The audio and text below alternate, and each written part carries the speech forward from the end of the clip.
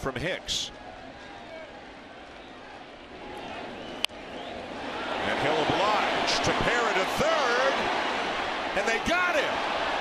Bang, bang play at third. Good play by Tepera to force the lead runner. What a play by Donaldson to take the short hop throw and stand on the bag at the same time.